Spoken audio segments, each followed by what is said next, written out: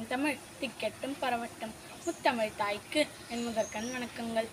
நெற்றிக்கண் திறந்தாலும் குற்றம் குற்றமே என்ற நக்கீரர் வழியில் வந்த நடுவர் அவர்களே ஏனியாயிருந்து எங்களை ஏற்றி அழகு பார்க்கும் எம் மாசான்களே என் அன்பு மாணவ செல்வங்களே வருங்கால தூண்களே எதிர்காலம் நீங்களே.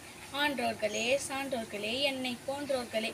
மனிதநேயம் என்ற தலை சிறந்த பண்பை எ- எத்தனையோ ஆயிரம் ஆண்டுகளுக்கு முன்பே வியந்துரைத்தார் என் பாட்டன் வள்ளுவன். உங்கள் அனைவரின் பாதம் தொட்டு திருவள்ளுவர் கூறும் மனிதநேயம் என்னும் சிற்றுரையை நான் துவங்குகிறேன். இந்த உலகத்தில் மிக உயர்ந்தது மனிதனின் சிறு இதயம்தான். அதிலிருந்து வருகின்ற அந்த அன்புதான் மனிதநேயம் என்று சொல்லப்படுகின்றது. நேயம் என்ற சொல்லுக்கு அன்பு என்று பொருள். மனிதநேயம் என்ற சொல்லுக்கு மனிதர்கள் மற்ற மனிதர்களிடம் காட்டும் அன்பு என்று பொருள். இவ்வுலகம் என்றளவு அழியாமல் நிலை பெற்று இயங்குவதற்கு ஒரே காரணம் மனிதநேயம் உள்ள சில மனிதர்களால் மட்டுமே. இதைதான் எம் வள்ளுவன் பண்புடையார் பட்டுண்டு உலகம். அது என்றேல் மண்புக்கு மாய்வதுமன் என்ற திருக்குறளில் மனித பண்புடையவர்களால் மட்டுமே இவ்வுலகம் நிலை பெற்று வாழ்ந்து கொண்டிருக்கிறது என்பதை மிக தெளிவாய் காட்டுகிறார் அன்பும் மரணம் உடைத்தாய் நில் வாழ்க்கை பண்பும் பயனும் அது என்ற திருக்குறளில் வள்ளுவர் அன்போடும் மரத்தோடும் இல்வாழ்க்கை வாழும்பொழுது மக்கள் தெய்வம் விருந்தினர் உறவினர் மற்றும் தன்னுடைய குடும்பம் என அனைவரும் உற்று துணையாக ஆதரவாக இருப்ப இருந்து அன்பு செலுத்துவர்.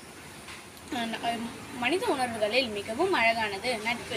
அந்த நட்பை எவ்வாறு போற்ற வேண்டுமென்றால் ஒருவனுடைய உடை நழுவினால் அவனது கை உடனே சரி செய்வது போல ஒருவனுக்கு ஒருவன் உதவி செய்து நட்பை போற்ற வேண்டும் என்பதை உடுக்கை இழந்தவன் கை போல ஆங்கே இடுக்கண் களைவதான் நட்பு என்ற குரலில் விளக்கியுள்ளார். அன்பில்லாதவன் மனிதனே இல்லை.